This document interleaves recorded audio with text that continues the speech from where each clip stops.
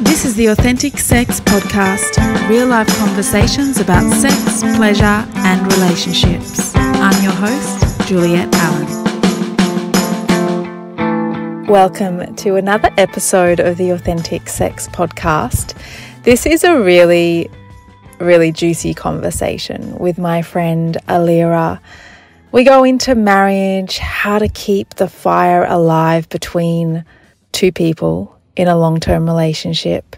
We talk about parenting, co sleeping, breast explants. Now, this is a really interesting one and something that I didn't know about Allira that she had her implants taken out and how that impacted her.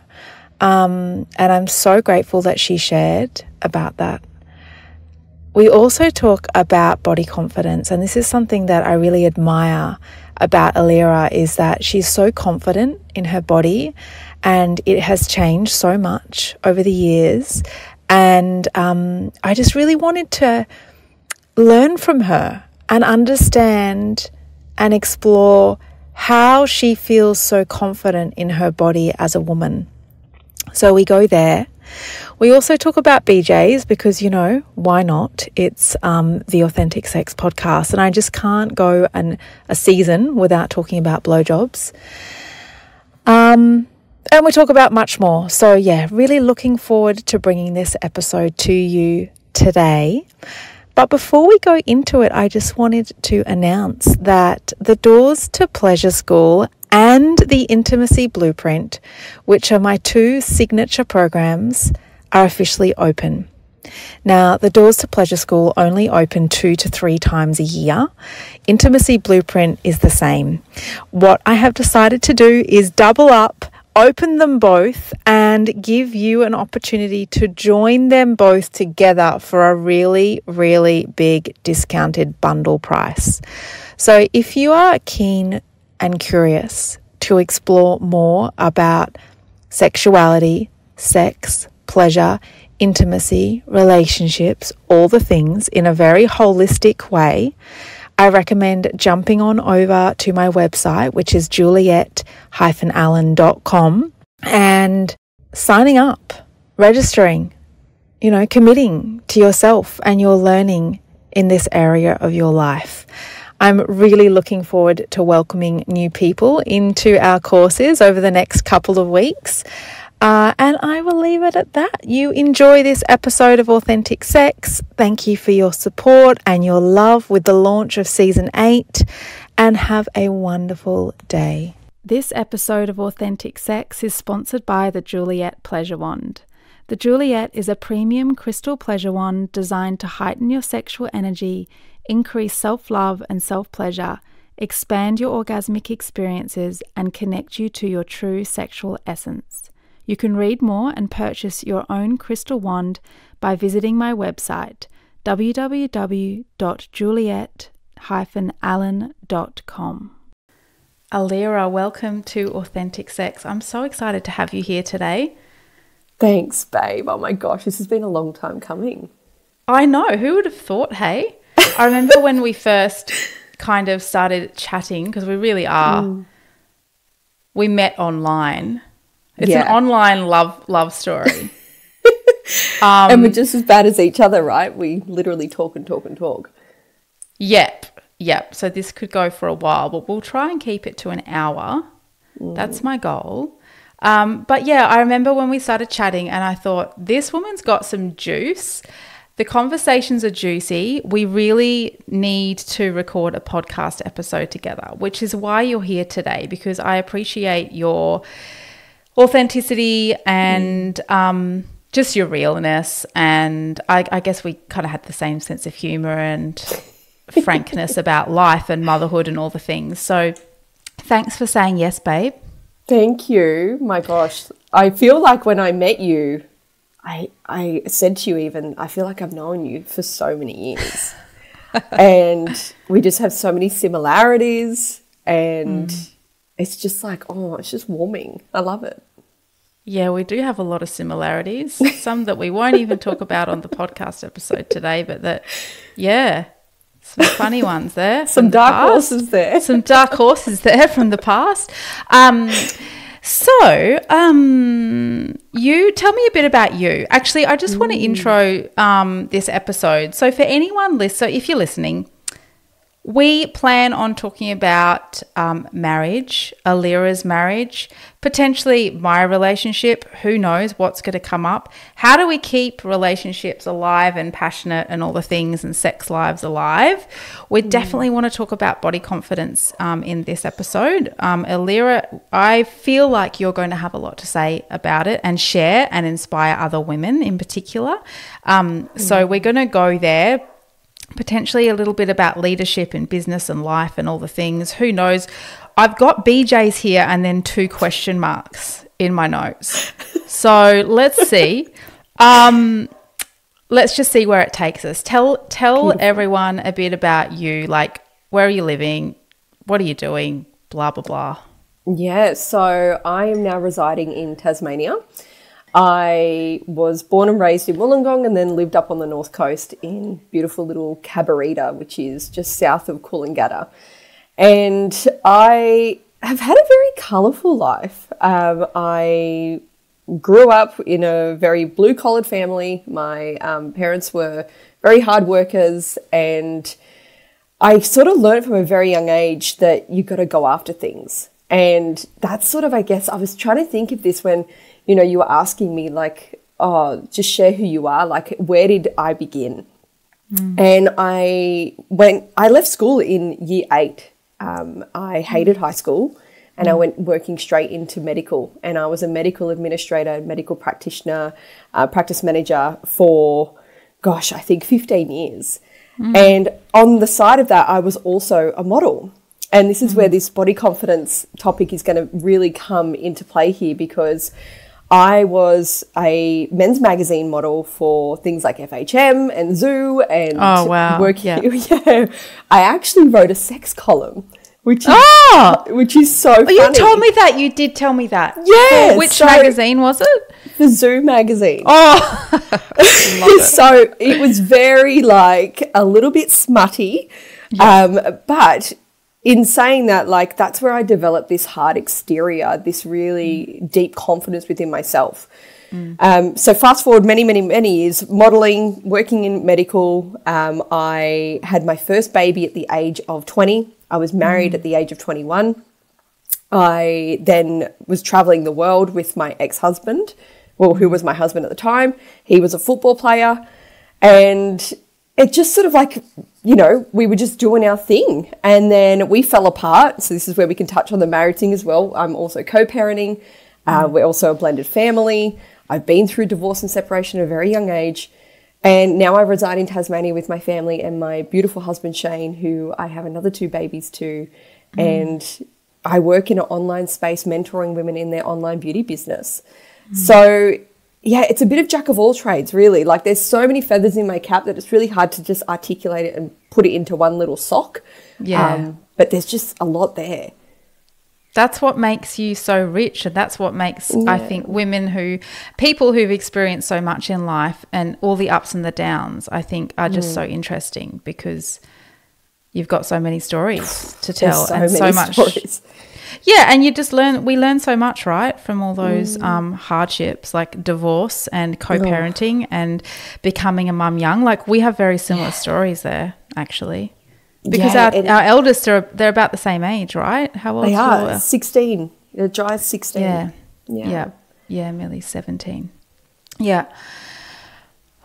okay.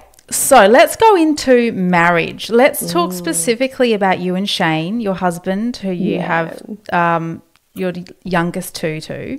Yeah. Um, My dream boat.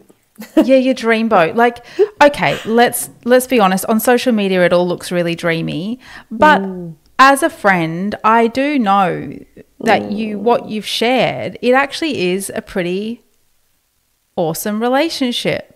Yeah. and you have a lot of love for him and him for you, and um. I know that you guys have sex, that's for sure, because um, any friend of mine um, I, I do know some of the ins and outs of their sex life. Not everything, but you've shared that it's great and that's Yeah. awesome. How do you why do you think that is? Why do you think Mm. this relationship works? You know, our relationship initially started so Shane was in the military and I was currently living at home with my parents and then he mm. got deployed and we had to create a friendship over WhatsApp because he was deployed, we couldn't see each other.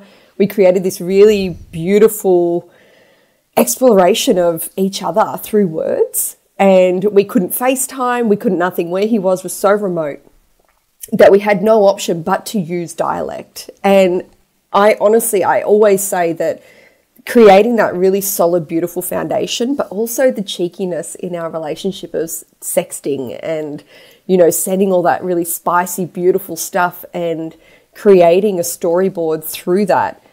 I honestly believe that we become friends before lovers. And hmm. that has really sustained us. We have had some really turbulent times over the last couple of years, which I've divulged to you. And, you know, I hmm. don't shy away from that on social media either because I know there's such potency and power in sharing, you know, that yes, we are deeply connected, but my gosh, we've been through it. So hmm.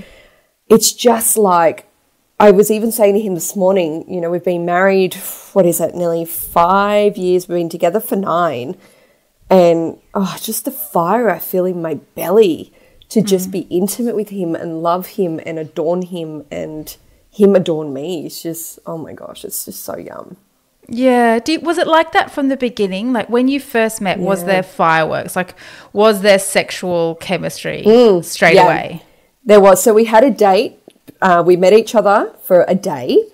And well, there's a running joke story that we always tell, but you know, it was very hot and spicy. And he was a little bit like uh, trepidation because he was like, I don't want to ruin this because she's such a cool chick.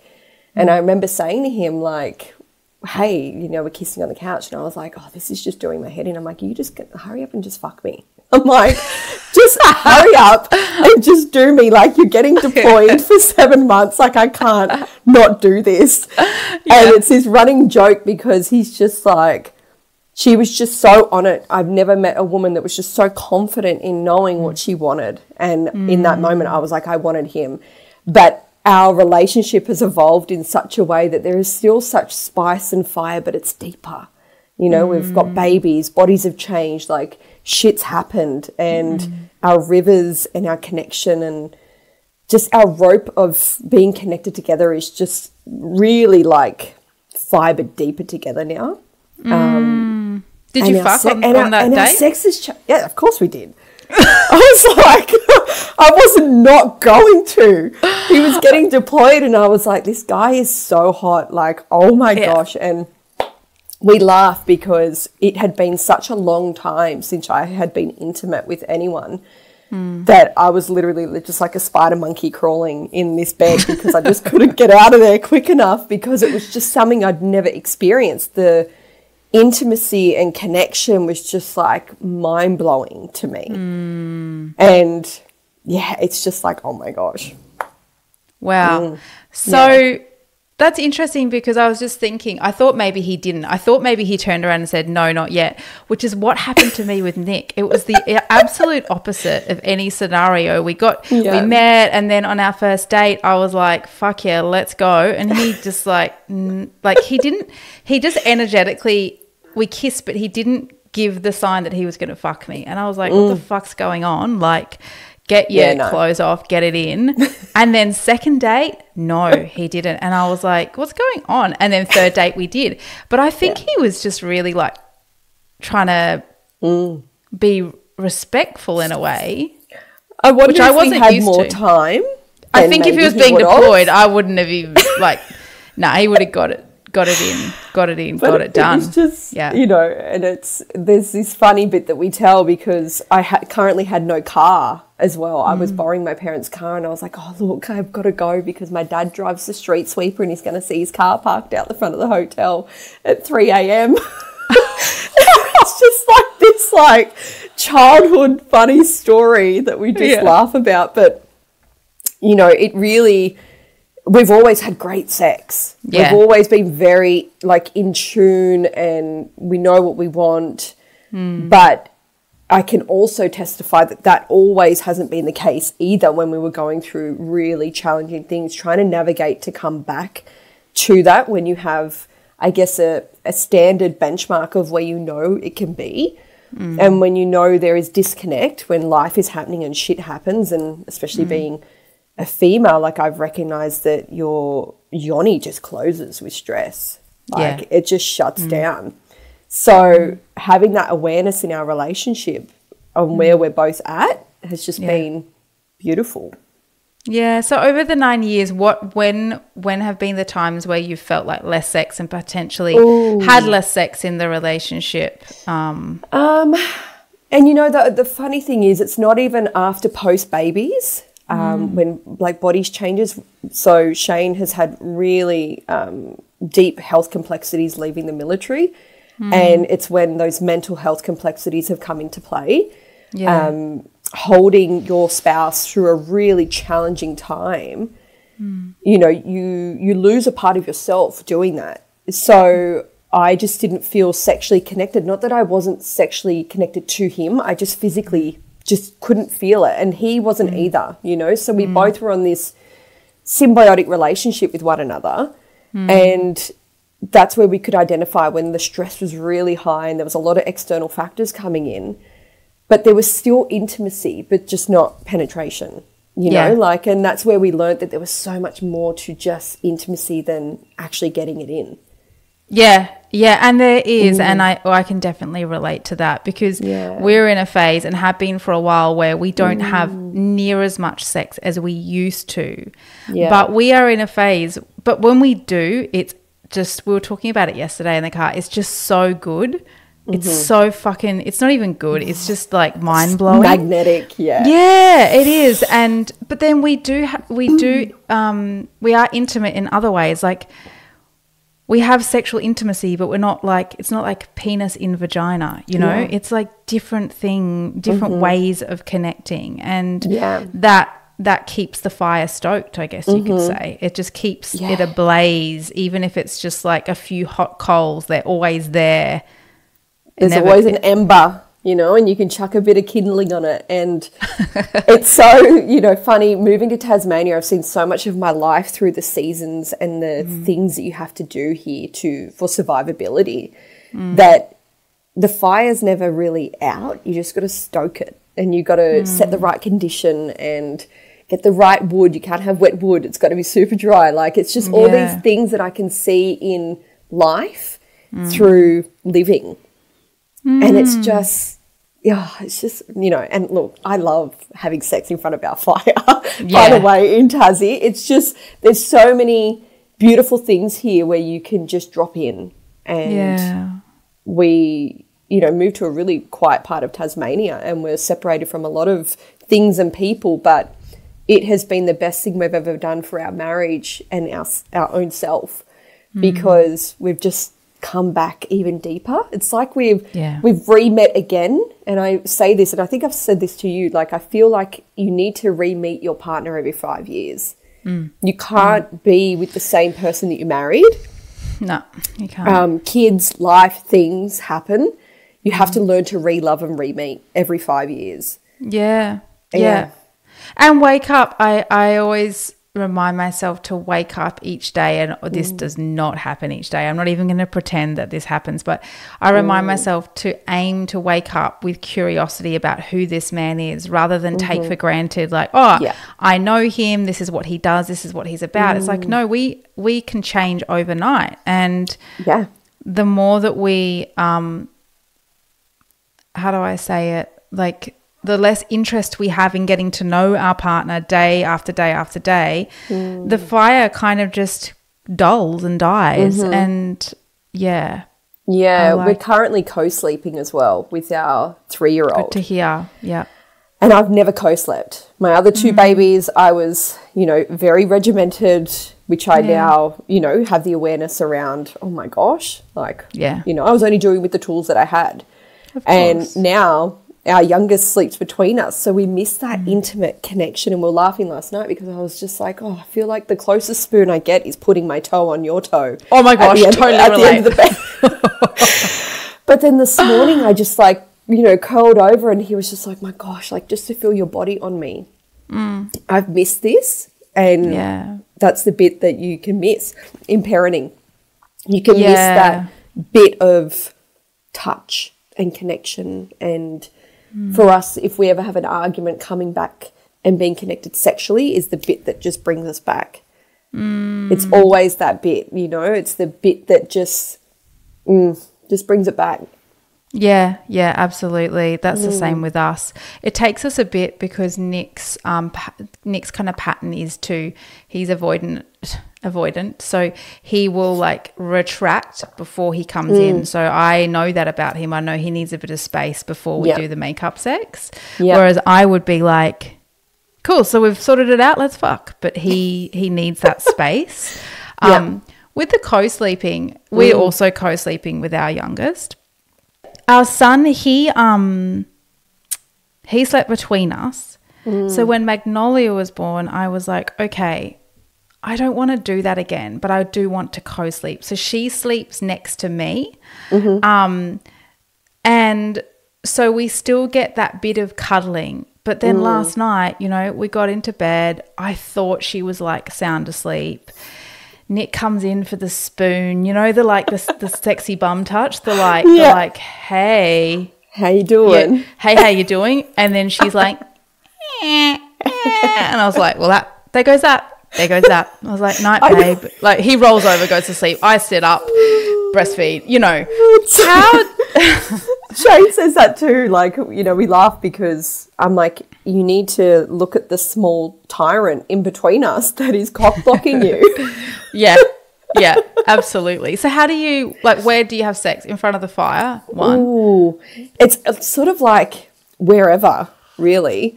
Um, I was always like a bedbound person with sex. Now I'm like, it's just wherever.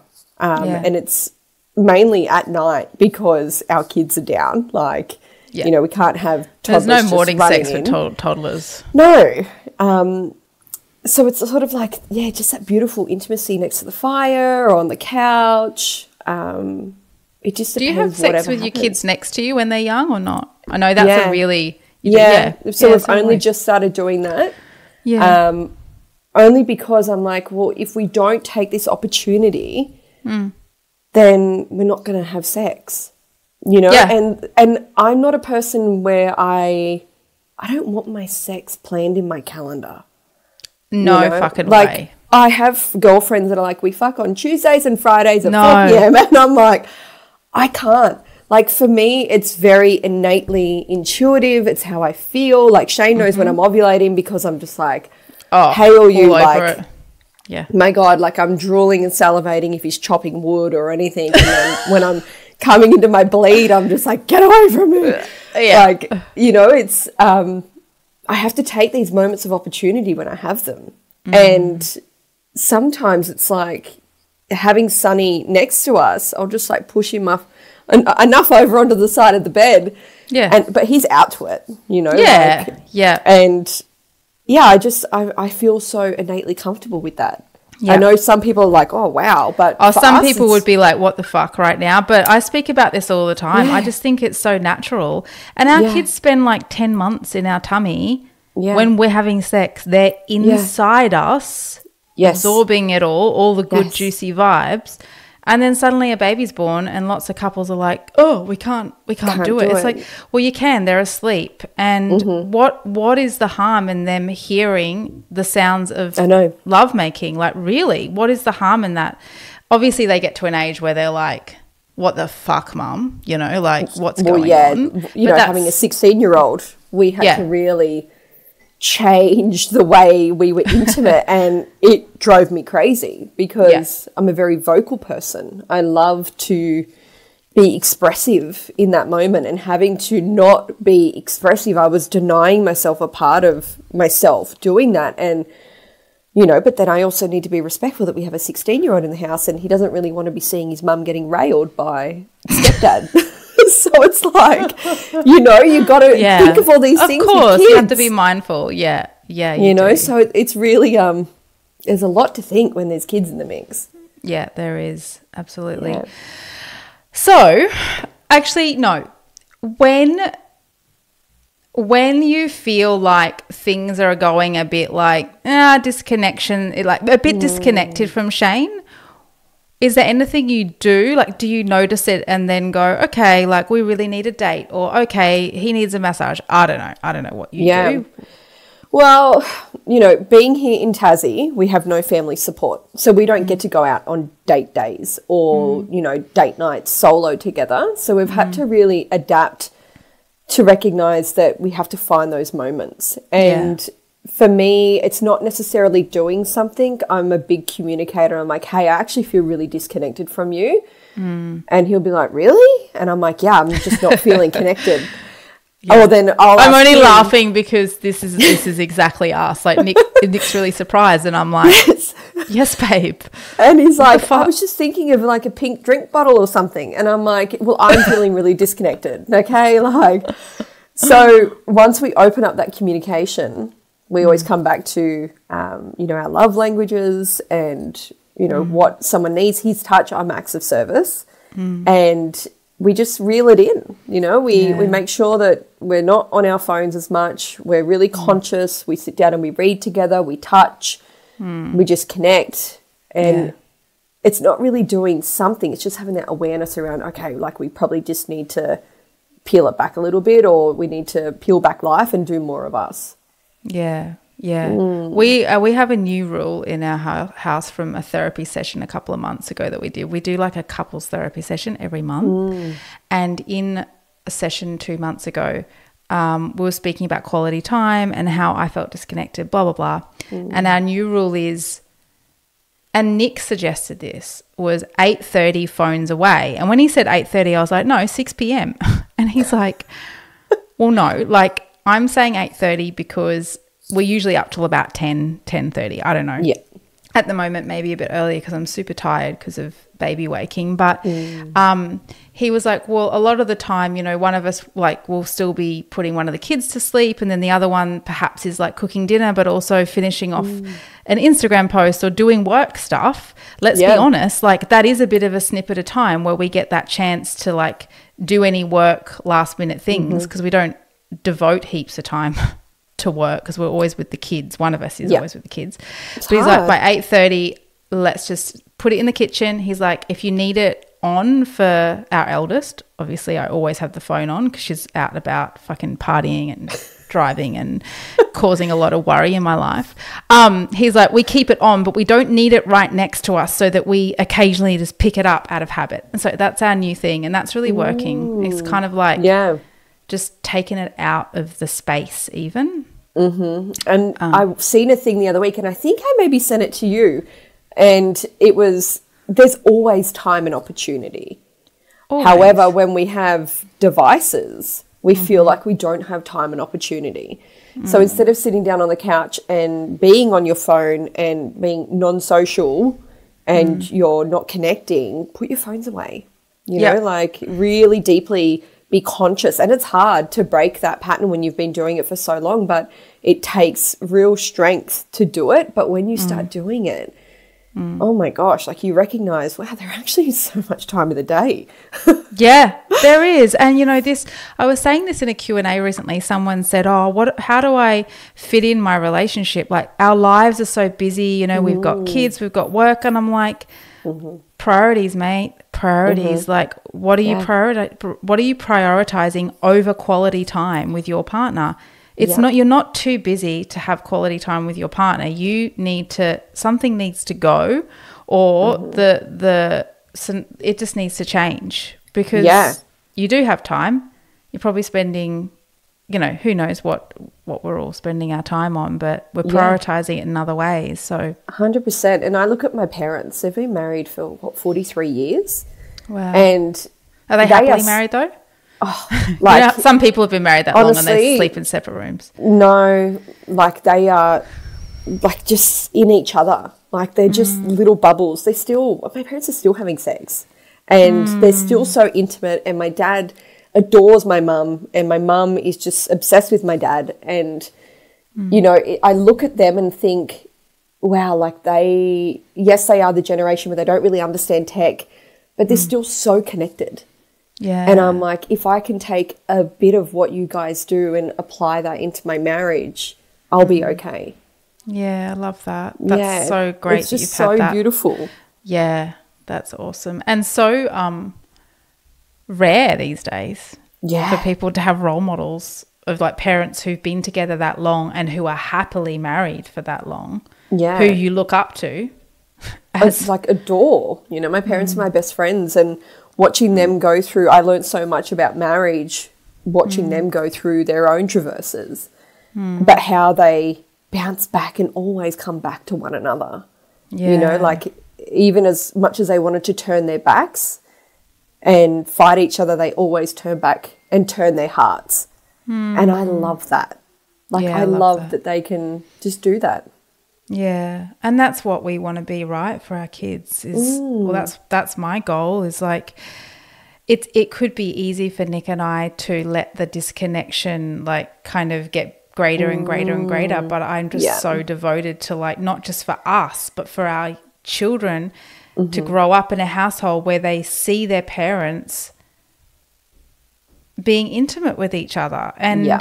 prioritizing each other and mm-hmm. you know kissing and cuddling and talking and Yeah. all those things. Like i want that for them but i know that mm-hmm. if we don't provide that for them as an energy for them to grow up in in the mm. household then they've got far less op- like far less of an opportunity to mm-hmm. experience it when they're adults. Massively and you know we have this saying in our house especially when there's an argument or there's a disconnect and something happens and there's a flashpoint it's not the argument it's how you come back from it. And mm-hmm. especially if we have something happen in front of our kids or mm-hmm. you know there's been a stressful moment and we both snap at each other or it's not how you fight it's how you come back from it. And showing our kids that mum and dad can disagree and we can both not enjoy each other's company sometimes, hmm. but coming back from that and loving each other and showing them how to repair that yeah really has important. been so paramount in showing healthy modeling of relationships because you are going to fight, you are going to have disconnecting mm-hmm. moments, you are going to feel the tension. yeah But showing your kids how you rebound from that is far more important. Agreed. Agreed. Mm. I have to interrupt this episode to let you know that today is sponsored by Pleasure School. Pleasure School is a monthly membership where together we study intimacy, conscious connections, and how to embody our true sexual essence. Every month, students of Pleasure School access members only educational content across a wide range of formats, including written, audio, video, and guided home study. Pleasure School is led by myself, and I'm also joined by other teachers who are pioneering in the fields of sexuality, relationships, and holistic health. This is your chance to join a unique online school like no other in the world. Learn more and join Pleasure School at www.juliet-allen.com. That's J U L I E T hyphen A L L E N dot. I actually just before we go on to the next topic, I want to say that I know people lis- there will be people listening who are single parents, um, but or who, um, yeah, parents who are have come from divorce who are now co-parenting, which we have both done. Yeah. Um, but what I, I think as a child who was at 14, my parents divorced and it was pretty out of the blue and sudden and kind of fucked me up for a while, basically.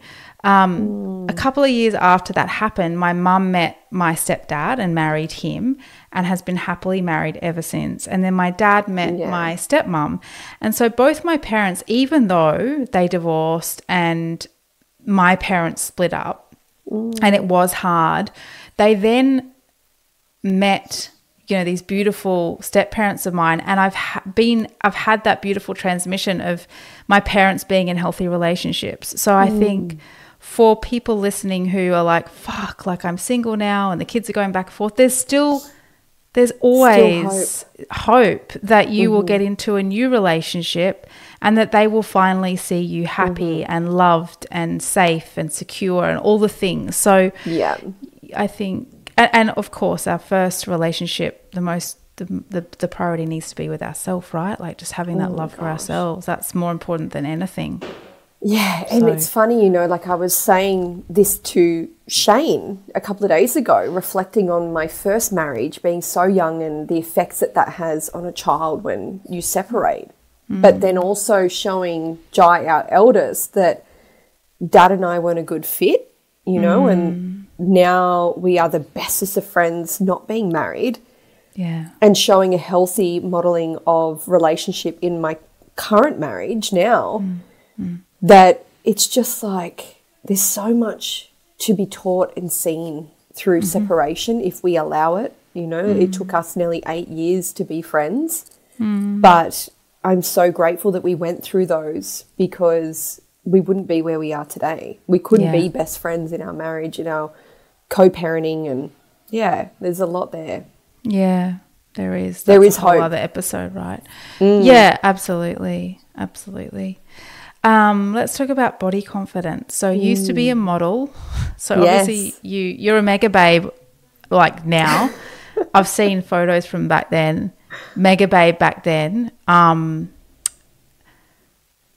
I would say even more of a babe now because you've got so much wisdom, you know, and life experience, and that's so attractive. I find that so attractive in women. Like you can have a hot young woman, but like a, a- same with guys. You can have a Yeah. really hot young guy, as you know, you know, but then it's like, well, you're not Mm-hmm. only really much goes so a take- far only go so far. Um, so, um, yeah, tell me about like your relationship with your body because it's changed, and you know you've been through Yeah. three pregnancies. All the things we know as mothers, how that can change our body is something that I'm very like much in still. Mm-hmm. Um, yeah, Yeah, it's been a, a bit of a wild journey. Um, I guess for me, like my really strong confidence comes through my relationship with the self because I couldn't allow or rely on others to, you know, I was in a modeling era where I was big boobs, big booty, small waist, size 10 to 12, and I was deemed overweight. You know, I was Oh my told God. at constant castings, go lose, you know, a few kilos and come back. And was hmm. denied jobs constantly because I was curvy. Hmm. So I learnt at a really early stage on in my career that I had to love myself first and foremost. Hmm. And I couldn't allow other people's perception of what they are seeing to determine how I feel in my own body. Mm. And I've always just felt so confident because of the communication I've had with myself. You know, mm. like mm. I used to have comments at school, you know, oh, you think you're so hot, or, you know, you think you're just this and that. But it's because I was just so sure of myself Yeah. that I knew my value and I knew who I was as a young woman and now a woman. That even still to this day, I get women in my inbox being like, "You're just so confident. Like, what do you do?" And it's it literally comes back to self love practices. It comes back to this deep sexual connection with the self. yeah, Um, I truly believe you can't love others without loving yourself first. yeah, Exploration of your own body, your own sensuality, your own sexuality. It is just this encompass, like, it's just everything, you know, Yeah. like having this deep, attuned communication and feedback, knowing that other people's opinions will not shape how I feel in my body yeah, um, has been really something that's kept me steadfast over so many years. And I know that that's not everyone's story. It's not a really, it's not an easy thing to teach. It's not an easy thing to cultivate either. Um, and I still feel as time goes on, I'm always learning and loving myself even more. Um, I've had three babies, one at a very young age where I bounced back into size eight. Tony Bianco jeans, right? Tony, Tony Bianco jeans? I bounced back into like size six Tony Bianco jeans the day after I had my first. Second, yeah, you know, four weeks later, I was back shredded abs. Third one absolutely rocked me yeah. to the point that it's still nearly what Sunny's three next month, and I'm only just getting back into training and movement now. Hmm. I also had my breast implants removed, so I had ah. breast implant illness and had my boobies removed. So my boobies for me when I got them done wasn't because I wasn't not confident about my breasts. I wanted these big bolt-on cans being Yeah. you know, a magazine model. I was just Well, you were in a zoo, right? Zoo, Yeah. pretty. Mate, you could put cans of cokes on them and they'd just sit there like Yeah, I've seen the photos. I thought you must have had a boob job. But then I was like, oh, I, I think I asked you and you never responded. So I was like, maybe she didn't. I don't know. Yeah, anyway, no, um, I yeah, had big, big, you massive did. boobies, and then had to get Wow. them taken out because one ruptured and I got really unwell. So this was how was that process? Gosh, let's go there. So the process, I started to get my health really started to decline all of a Yeah. sudden, and everything was on my left hand side where my rupture was on my left hand side, and then I started to investigate and went through an oncoplastic surgeon on the Gold Coast, and he said, "Look, you've actually got a grade four rupture in your left implant. We have to get it out. It's basically liquefied." Oh my Um, god. it come into fruition when I was pregnant with Atticus. I was working at an oncology unit in Wollongong Hospital, Mm. and I was getting really painful left breast, and it was hot. And they were like, "You can't go and have an MRI. You need to wait until you have the baby to find out what's going on." Mm. So I instantly was thinking, I've got breast cancer, like something crazy's going on. Had Atticus, then went in for investigative, and they found that it was just completely like mush. So then left it for a little bit. I kind of ignored the severity of it. And then I started developing like paralysis on my left hand side of my face. I was getting um, like neuralgia shooting pains all on my left hand side to the point that it was just debilitating. I was developing really dark rings around my eyes. Um, I was losing sensation of like my left side of my tongue Jesus. got my implants taken out and the surgeon said to me he said look i really want to do a reconstructive on you um, and i at this point was very much in you know my still deep in discovery of my body awareness and i said no you know what? I don't want to have a reconstructive process. I want to see my breasts for what they are. And he was like, "Oh, you're going to be you're going to be horrified," and I just said, "No, like I, I my health is my wealth. I want to see my body as it is." And Mm. I remember when I looked at my boobies after I had them out, I was like, "Mate, they're so good." I was like, "Oh my gosh!" And even Shane said to me, "He's like, babe, he's like, it's just like a nice little little rack. He's like, it's just perfect." but after swelling had settled, they had to remove quite a large chunk of breast tissue. So my left breast is a little bit deformed compared to my right. Hmm. But I have fallen in love once again with hmm. my body because of the journey it's been through, the things I've put it through by choice. yeah. And I love my boobs, regardless if I'm missing like, you know, three quarters of a boobie. Yeah. I am, Shane loves them. You know, Yeah. like it's been such a journey. So, touching on that body confidence, like I truly believe that that's what sus- sustained me in making that decision of not having a reconstruction done. Um, because of the work I'd done for many, many years of being so confident in my own vessel. Yeah. Yeah. And that all comes down to communication with the self and that love, mm. like deep adorning, you know, like society will make you think that you're always two steps behind or 10 steps ahead and that you're not perfect and that you need to change something or you should be doing this, you should be doing that. But mm. if you can look at yourself in the mirror daily and you'd be like, oh, like there she is. Like, I love her. yeah. I love myself. Um, it's just beautiful. It's Yeah. truly beautiful. And that's also where I have realized when I've come out of alignment, when I used to look at myself in the mirror and I couldn't love her. And Yeah. Mm. I was like, where is she gone? And then it comes back to the body practices, body work. What know, What do you do? What do you do? What body practices? Because I know women are listening right now and they're like, "I want this. I want this. Mm. How the fuck do I get there?" honestly, self pleasure is, and like I use your wand as well. Mm. Great, Now that I have a wand. Um, Which one? Which crystal? Uh, uh, obsidian. Yeah. Obsidian. yeah. is just like oh obsidian is just delicious um, Yeah. so that is like my go-to now through self-love practices but before i had a wand it was just purely breast massage masturbation touch connection, scalp massage, talking to my body, just those things that really bring you back home. Yeah. Nothing external, no, you know, weird like practice outside that is going to, you know, benefit. It's all in here. Yeah. It's all about touching my own body and just being with the self. Hmm. And that is when I when I cannot feel that connection with me, I know that I've stopped doing that. I've stopped reconnecting through self pleasure, masturbation, touch, hmm. just even just like massaging my breasts or touching my hair or you know hmm. tracing my lips and my face and my body. Hmm. Just really separating from that disassociation, disconnection that we can feel as women and as mothers as well. yeah. Really bringing that back in. That's what I love about you. Like you always look so glam. Like I really don't fucking get it.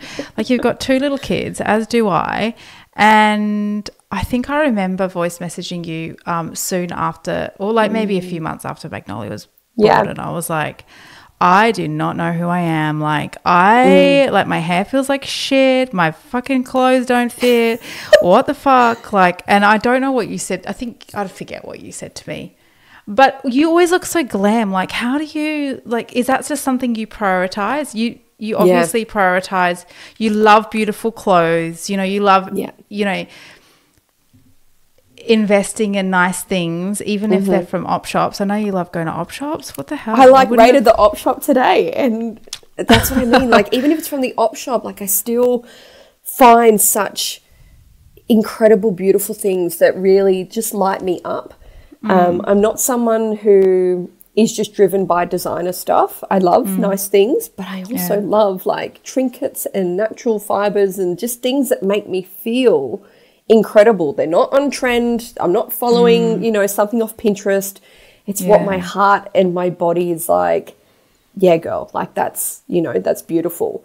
Mm. Um, for me, my makeup trend is very basic. I don't have Yeah. time to really do a full, you know, makeup thing. I'm very Yeah. just like simple. I love a natural makeup. I don't have time to blow dry my hair. I have kids. So I just make sure that I do the things that work for me and with me rather than going agre- against that. Yeah, Um, And I do prioritize self care.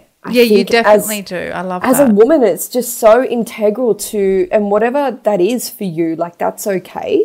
But Mm-hmm. for me, it's about, you know, really good skincare, really Yeah. beautiful, like BB cream, a little bit of lip oil, a little bit of rouge. And I Mm. Yeah. always have to have my brows done because that's like having Oh, a it's- fucking you picture without a frame. Like, gotta. You can't. yeah, agreed. Agreed on the brows. So yeah, like those things really change my mood. And you and I have spoken about it before. Like we always pick our nail Yeah. color based on like I am what not a going to good. look like. I am not.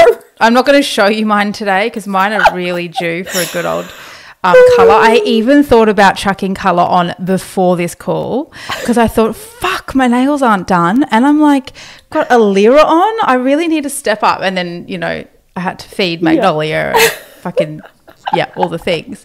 Didn't happen, but yeah, your nails always look great. yeah, and it's just you know, I don't know. You know, I'll probably get to a time along my timeline where I'll no longer get my nails done, and I probably mm. won't give as much of a shit. I no longer get Botox or anything. You know, mm. working in a medical facility for so long, I was having Botox every fortnight. I no longer get mm. that. I really, I don't believe that because your skin looks so good. Of course, I believe it because I know you're telling me the truth. But honestly, I don't. I like gua I- a lot. yeah, look, I need to get onto that. I've got a couple of friends who are like, "What the fuck? I can't believe you don't do it." And I used to, and then I stopped. So Yeah. you know what else? Yeah. One of my besties got me the other day, or like a couple of weeks ago. It's this thing that you put water in and you freeze it, and then you it's Oh, ice, yeah. and you just ice your face, Yeah. and it feels so good, and your face just goes all red. Have you done it? Or have you I have been face? watching people, and someone Right. was saying there was one the other day that they got from Kmart, and I was like, "That's it, I'm Yep. in there." yeah, they're at Kmart. They're at Kmart. Um, and you So, just I- chuck it in. I need to do but that. You just don't let your toddler see it because Soul thinks it's a freaking ice block. And I'm like, mate, put it back. oh my god! That's for me later when you go to bed. But yeah, um, anyway, I love hearing about gua sha. I need to get back into mine. I'm a bit lazy with it. Like I won't lie. Um, I could be better at it, but Yeah. in saying that, like you know, the effects of like constant uh, gua sharing has definitely minimized like my wrinkles, but I also am at that point where like I love my smart lines. You know, like, Yeah. I, I'm loving aging. Yeah, Um, yeah. I feel really, I'm coming up to 40 next year.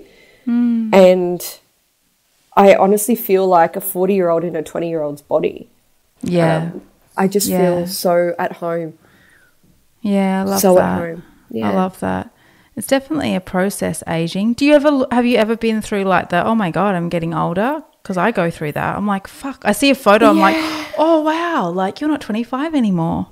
Yeah, I You're- do. Um, but then I also like, I really appreciate where I'm at and the woman I Mm. am now. Like, I find that there's beauty in every chapter. So I Mm. may not look like I did 20 years ago, but I still Mm. can truly look at myself and be like, oh my God, like I love you. Yeah, that's so cool. That's Yeah. so cool. Um, let's talk about oh, where do I want to take this? Because we could talk forever. Hours. Okay, you yeah, like hours. Um, let's talk about money for a minute. Oof. I know. I mean, it's like it's a big one. It's going to tr- probably trigger people. Blah blah blah. But you know, why not? What? Like you and I are both driven by money. I, I would say. You can correct me if I'm wrong, but we we are both uh, women in business who um, want to earn a lot of money doing what we love, and we both mentor people in business, um, and we love that. Like fuck, Yeah. seeing other women succeed So and just oh, I, I love it. I love It's it. lush. Whether I'm getting paid or not, I'm like, let's do this. Let's Yeah. like. So, um, what is it about having um, earning having the potential to earn lots of money that appeals to you? Like, what does that bring to your life? Because you know, there's so many dirty stories about money. Like, money doesn't bring happiness. Money doesn't grow on trees. trees. Rich people are fucked. Rich people are stuck up. You know, like Yeah. all the things, um, all the things we get told as a child, and blah blah blah. We that subconscious story, you know, that Mm. and and that's also been a really challenging thing for me to navigate is you know, once again, coming from a really blue collared family, I had Mm. family that were in housing commission, you know, hadn't really, you know, been exposed to large amounts of money, um, would live paycheck to paycheck. Like that was a story for a very long time. But now being in this position where I'm eternally grateful for the money that just flows forward is because it gives access. And when I say access, it's not access to, you know, um, this other ultra life, it creates nervous system safety for me. Mm. You know, I was a mm. single parent also. I know what it's like to live paycheck to paycheck. I know what it's like to not have things and make decisions if whether you can have this or have that.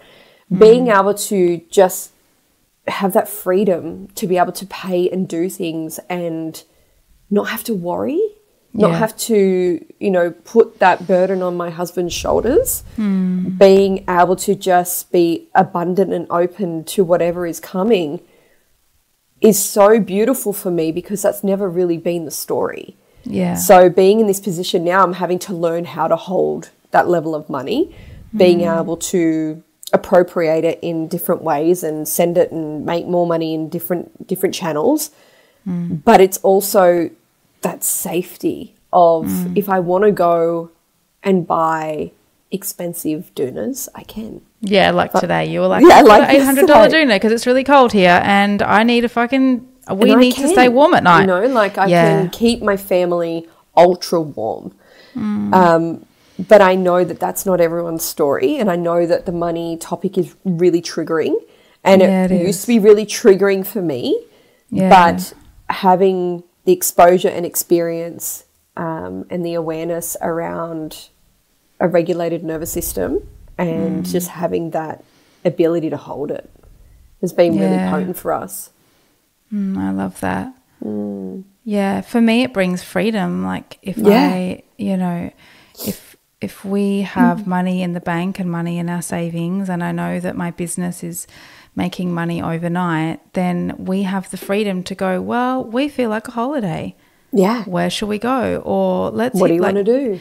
July, August, we're just hitting the road and we're like, let's go on an adventure as a family. And Yeah. also the freedom to eat well, which um, Yeah. is really a, our health is such a it's a high value of ours as my a couple. gosh. It's like top, and so for us to be able to go to the health food store and just pile up with Yeah. organic produce and all the good things that feed our kids and keep them healthy and strong, like that's freedom to us, Yeah. and that's why I always hold the intention of you know making good cash basically Yeah. because i'm like Always. i want that for my children i want that for myself um and yeah and i'm Mm. still working on it too I don't think it's ever something that you never not work on. I think it's something that you always are learning a different level, a new skill Mm-hmm. within it. You know, whether you want to call it a hack or whatever, you're always learning new things. Um, I used to get really, especially my early relationship with Shane, I used to shut down around money. I would never want to talk about it. We would end up in arguments about it. Every time he would try and talk to me, I'd create an argument about it Mm. because I just didn't know what to do with that conversation. Yeah. Um, so I've had to really learn how to hold that. And, mm. you know, I'm grateful for that. I'm really, Yeah. really grateful for those lessons and opportunities through money. Mm. But also, like, you know, we live on a farm. Farming's not cheap. So- no yeah I gotta go make the money, honey, because if I want to have my organic veggie patch and you know have my chooks and have my own cattle and you know it's expensive. So I need Yeah. to go and make that ultra money to live the life that we want to live, yeah and that's what this is for. It's not about I love op shops, you know, and I love Gucci handbag too, but I haven't bought a handbag in a long, long time. Um, you know, I'm now looking at oh, that's a nice tractor. Oh, like yeah you know like things change around here so yeah. It's um that's what the money is for us is earning mm. big money and going after big money to be able to create the life for our children and cultivate the dream farm life. Mm, mm. Yeah i love that. All right so before we wrap up Allira let's talk about bjs because we kind of joked that we were going to talk about bjs and I had it in my notes with like two question marks, but I think we should just go there just to end the episode with a bang. So, um, BJ, Excuse are you? Yeah, exactly. um, do you enjoy? Like, what? What? What's? What's your? Do you enjoy b- giving BJ's? yes yes i do it's um but only to my husband Well, I'd hope so. Or that would be a whole other episode. You're like, oh, by the way, we're open. I'm like, for sake, you didn't tell me that. No, you're not. I know. it's um it's such a beautiful intimate just connective moment that Mm. you know i really think for us it's such a sacred thing that it's not an all the time but it is a my gosh when it happens it's fiery and spicy and just beautiful but very intimate, very like cheeky. Um, I feel nothing, like you it's know, more like- intimate than um, penetrative sex, and that's a big call. It is, you know, and it's there's just you can do so much with it, really. But for us, over time, it's really evolved that it's just this deep reconnection. Um, And for me, it's just such an active service of love. Yeah, you know, yeah, to just hold my husband in a way that it's just, it's really fucking beautiful to me. yeah, Yeah. yeah. Yeah. Yeah, I Oral feel like- is just like, woof, woof. Yeah, it's really intimate. You nailed it. And, you know, I feel like when Nick and I are deeply, deeply connected, that's when I'm giving more, more BJs, to be honest. More pleasure. Yeah. Yeah, there's like there's more of me when I feel like when he's being really present and when Mm. he is um listening and he's patient and he's Mm-hmm. giving me words of affirmation, my love language, all the things. Yeah. That's when I'm more inclined to suck his dick. Well, it's very dangerous to put a dick in a woman's mouth when she's angry. like, it's not. yeah, it's well, don't even bother with me because it ain't happening and if, if Like, that is just an, a, like, you're in the red zone. Like, Yeah, yeah. This is dangerous. Don't, Yeah. don't do it. Don't recommend it. Unless you've got some weird kink, of course, then go for it. But, no, yeah, for us, it's just beautiful. It's connective. Mm. Um, is that something that you do? Like, it, does it always lead into penetrative sex, or is it No. just like here's a yeah, cool? no, very rarely. It, uh, we don't follow that. You know, first base, second base. Like, there's Yeah. no like playbook, but very rarely it is more of a like, hey, babe, like this is for you and only you. Yeah, Like, just kick back. Yeah, that's so You know? beautiful. I love that.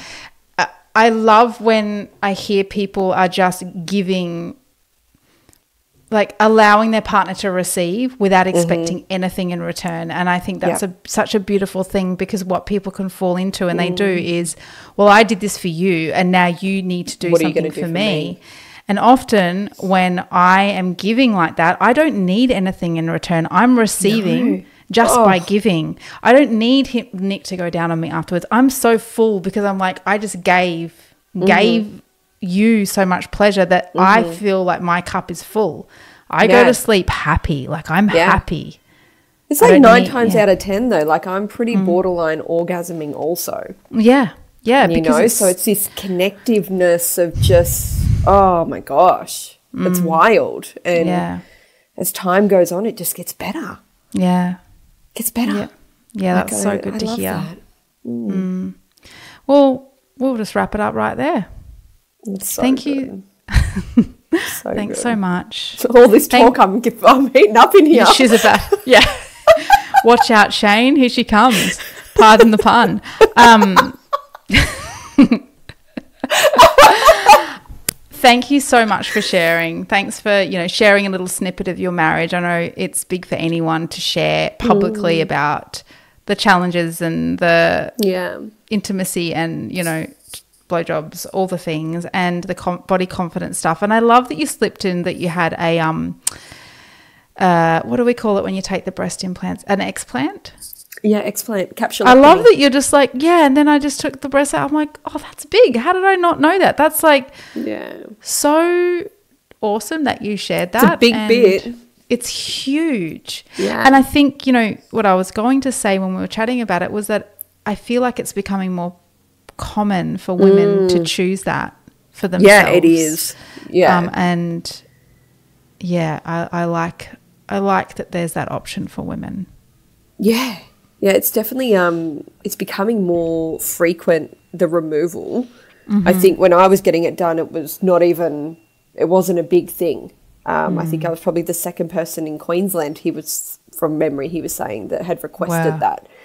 Um, but now we're just learning so much about it, and I'll never shame a woman for wanting to go and get breast implants. But my gosh, I just wish there was more you know, awareness around how complex and complicated it can actually go and B, You know, not only the surgery, but the impacts of the post. So, Absolutely. yeah, it's a bit. yeah, oh, it's a big one. it is. Yeah. Well, thank you for babe. sharing. Um, where can people find you on Instagram if they want to go Ooh. check yeah, out you all can your find me at Allira, A L L I R A C O H R S. Awesome. And you also, I'm going to give it a plug. You also started, this is so random when you told me this. I was like, oh gosh, she's such an entrepreneur. you started The Vault, which is like a, s- tell, quickly tell us. Yeah, so the cool. vault, the vault stock is like my little content creation baby with a very good girlfriend of mine, Kate, and it has stock imagery. There's all faceless um, videos. There is cinematography, ebooks, templates, everything. If you are uh, someone that is involved in the influencing space or content creation space, you're someone that is a, a brand online, whether you want to rebrand, start your brand, just everything to do with brands, you can go into the vault and you can get a membership and literally just have access to some of the most incredible imagery I have ever seen in my life. And yeah, it's just our baby. It's just growing and it's going absolutely gangbusters. Yeah, I love that. And this, by the way, if you're listening, this is not sponsored. Like I, you have not paid me to be like, hey, so let's just plug. This is just because I think it's so awesome to see women doing great things. And um, yeah, so if you need really great stock imagery, and you're in the digital space, yeah, go go check it out. Okay. Well, thank you, and um, hopefully we can have you back. Thanks, love. Love you. Thank you. Love you too. Thank you for listening to this episode of the Authentic Sex Podcast. If you love the show, please hit follow wherever you are listening and leave me a review. And if you really, really, really loved it, please share the podcast with your friends, family, and social media followers. Doing this together as a community, we can make an impact and support the world to feel more sexually empowered and free and just get the word out about these free resources. If you'd like to join me for daily updates and inspiration, you can find me on Instagram, which is at Juliet, J U L I E T underscore Allen, A L L E N. And you can also head on over to my website to join any of my offerings Pleasure School, the Intimacy Blueprint. Uh, and you can also treat yourself to the Juliet Pleasure Wand at www.juliet, J U L I E T, hyphen Allen, A L L E N dot com.